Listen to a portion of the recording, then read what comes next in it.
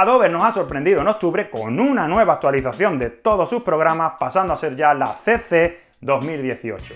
Yo he de reconoceros que tengo un grave problema con las actualizaciones de los programas. Ya sean de Adobe, ya sean plugin, en fin, como yo vea de sistemas operativos, como yo vea una actualización, es que no me lo pienso y me tiro de cabeza a actualizarla. Esta obsesión por actualizar tan rápido, más que beneficio, lo que me ha traído siempre son muchos dolores de cabeza. Pensar que en el primer mes tras una actualización, los desarrolladores continúan depurando errores que van apareciendo. Somos normalmente los usuarios los que mediante mensajes a la página web oficial del programa vamos denunciando los problemas que vamos teniendo. Y poquito a poco se van corrigiendo hasta que al final el programa queda completamente sin errores. Otro de los problemas que nos encontramos si somos de los primeros en actualizar es que los plugins de terceros que normalmente utilizamos en nuestra edición no estén todavía actualizados y tengamos que esperar unos días hasta que esta actualización se realice.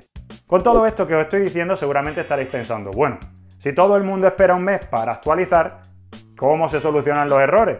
No preocuparos por eso, porque siempre hay quien ve una nueva actualización y es que no se lo piensa.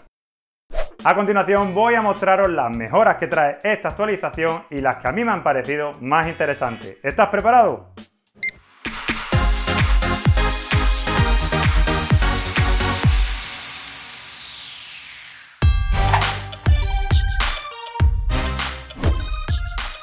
En este vídeo voy a mostraros los cambios y mejoras que a mí me han parecido más importantes. No voy a entrar en las referentes a los vídeos de 360 grados ni a los de realidad virtual porque de momento no hemos visto nada sobre eso. Para empezar, el aspecto visual no ha variado. La interfaz sigue siendo idéntica y lo único que ha cambiado es el aspecto del icono de los programas, que ahora luce con una forma parecida a los iconos de las tarjetas SD. Es un pequeño cambio, pero bueno, ahí está. Otro pequeño cambio, pero muy útil, es el siguiente. Cuando por error cambiamos un panel de sitio y queremos volver a dejarlo tal y como estaba, en versiones anteriores teníamos que ir a Ventana, Espacios de trabajo y seleccionar Restablecer el diseño guardado. En esta actualización esa opción continúa, pero han añadido un atajo bastante sencillo. Tan solo hay que ir a la parte superior donde está el menú de los espacios de trabajo y darle doble clic al espacio que queremos restablecer. Nos mostrará una ventana de confirmación y tras darle así todos los paneles volverán a su ubicación por defecto. Uno de los cambios de esta actualización que me parecen más útiles es el de poder abrir varios proyectos a la vez. En las versiones anteriores, si íbamos al menú Archivo y pulsábamos Abrir proyecto, Premiere tenía que cerrar el proyecto actual para abrir el proyecto solicitado. Esto cambia completamente en esta versión. Si ahora pulsamos en Abrir proyecto, se nos abre la ventana para buscar el proyecto. Lo seleccionamos y pulsamos abrir. El nuevo proyecto se abre individualmente en una pestaña propia que aparecerá de manera flotante para que el usuario sea quien elija la ubicación que mejor le convenga. Yo, por ejemplo, la voy a colocar al lado de la del proyecto 1. Si nos fijamos en la línea de tiempo, tenemos en ella la secuencia principal del proyecto que acabamos de abrir. De esta forma podemos pasar fácilmente elementos de un proyecto al otro. Por ejemplo, voy a seleccionar toda esta parte del proyecto 2, la voy a copiar y a continuación pegarla en la secuencia del proyecto 1. Existe una nueva herramienta en forma de candado situada en la zona inferior del panel proyecto. Cuando está abierto podemos realizar todos los cambios que queramos en el proyecto, copiar, pegar, borrar, pero cuando está cerrado solo nos dejará copiar. Será imposible mover ni añadir ningún elemento. Esto se utiliza cuando abrimos proyectos en los que bajo ningún concepto queremos que por error varíe ninguno de sus elementos. Al bloquear un proyecto, como ahora mismo que tenemos bloqueado el proyecto 2, en la línea de tiempo, al lado del nombre de la secuencia, nos aparecerá el icono del candado, para informarnos también de esta forma que el proyecto está bloqueado. Fijaros ahora mismo, con el proyecto 2 bloqueado, si quisiéramos mover este clic de sitio, no me lo va a permitir, sin embargo, la opción de copiarlo y llevarlo al proyecto 1 sí que nos va a dejar realizarlo. Cuando no necesitemos ya cualquiera de los proyectos, podemos cerrarlo. Es tan fácil como seleccionar en la línea de tiempo la secuencia del proyecto que queremos cerrar, por ejemplo vamos a cerrar el proyecto 2, a continuación vamos al menú Archivo y pulsamos Cerrar proyecto. Si le hubiésemos realizado algún cambio mientras estuvo abierto, nos habría preguntado antes de cerrar si queremos guardar dichos cambios. En este caso no nos lo ha preguntado porque lo hemos tenido todo el tiempo bloqueado. Otra característica que han incluido es la de cerrar huecos en los proyectos. Cuando estamos editando y nos encontramos con que hemos ido dejando huecos vacíos entre los clics, la forma de eliminarlos en las versiones anteriores era ir uno a uno eliminando rizos. Ahora tenemos la opción de eliminar todos los huecos a la vez. Si vamos al menú secuencia y seleccionamos cerrar espacio, automáticamente se van a eliminar todos los huecos de la secuencia seleccionada.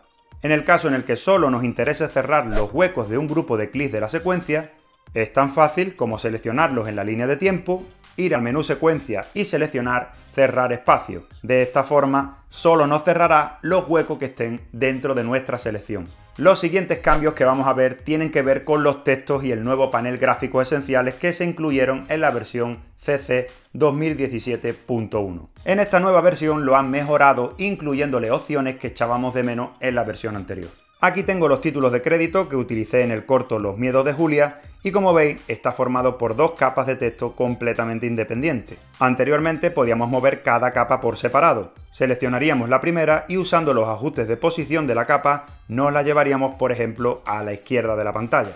Una vez hecho este paso, seleccionaríamos la segunda capa y nos la llevaríamos también a su nueva ubicación. En esta actualización podemos mover las dos capas de texto a la vez, usando la opción de diseño interactivo que han incluido en el panel Gráficos Esenciales. Gracias a esta nueva herramienta podemos fijar los textos entre sí. Lo primero sería seleccionar una de las capas. En este ejemplo voy a seleccionar la primera. En el apartado Diseño interactivo tenemos la opción de Anclar a, donde elegiremos la capa de texto que queremos fijar. En nuestro ejemplo, que está formado por dos capas, lo tenemos bastante claro la seleccionamos y le indicamos cómo queremos que se fije. Para esto disponemos de este cuadrado en el que podemos elegir si queremos que se ancle en el lado izquierdo, en el lado derecho, arriba, abajo o si pulsamos en el centro se nos fije en todas las direcciones. En nuestro caso vamos a seleccionar que se fije en todas las direcciones y de esta forma podremos mover el cursor libremente por toda la pantalla sin que varíe la posición de las capas en ninguna dirección. Voy a colocarlas más o menos en el centro. En esta nueva versión ya podemos ajustar múltiples capas de texto al mismo tiempo. Esto que parece tan fácil, en la versión anterior no se puede hacer. Con varias capas seleccionadas podemos, por ejemplo, aumentar el interlineado de todas las letras, o realizarle cambios de apariencia, como el color del relleno, sin tener que ir, como en la versión anterior, realizándolo capa a capa. En el apartado donde seleccionamos las fuentes de texto también han incluido mejoras. Contamos ya con una previsualización de las fuentes que tenemos instaladas y de esta forma, antes de elegirlas, podemos ver cuáles de ellas se adapta mejor a la edición que estemos creando. Todas estas estrellas que se encuentran a la izquierda nos sirven para señalar qué tipografías son las que más nos gustan o las que más usemos en nuestros proyectos. Y de esta forma, usando el filtro que tenemos en la parte superior, hacer con un solo clic que nos muestre solo nuestras favoritas. Algo que eché en falta en la versión anterior era las propiedades de desplazamiento de los títulos, fundamentales para crear títulos de crédito finales como los que tengo ahora por ejemplo. Pues bien, en esta actualización, si no tenemos ninguna capa seleccionada, nos aparece la opción de desplazamiento. Fijaros que si tenemos una capa activa, la opción desplazamiento no nos aparece.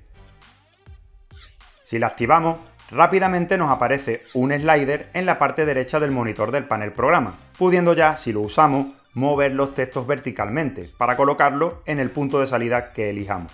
¿Cómo hacemos que se muevan? Vamos a los siguientes controles. En predesplazamiento podemos generarle una pausa al principio, donde el texto no se va a mover. Vamos a asignarle, por ejemplo, 2 segundos.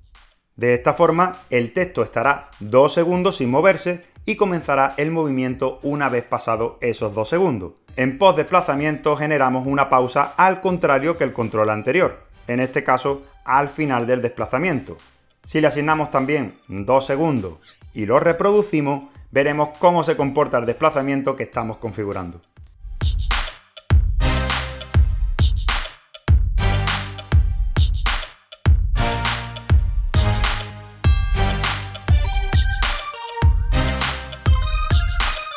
Las opciones de suavizar entrada y salida sirven para que el comienzo del movimiento lo realice mediante una curva de aceleración o desaceleración. Es decir, no va a empezar el movimiento bruscamente, sino que irá poco a poco aumentándolo o disminuyéndolo.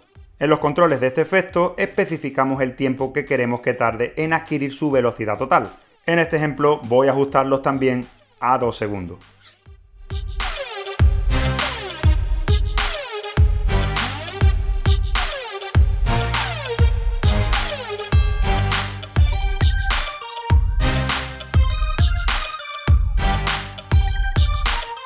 Podemos también indicar que el texto empiece y termine fuera de la pantalla. Si activamos las casillas correspondientes, el texto aparecerá por abajo y terminará saliendo de la pantalla por la parte superior.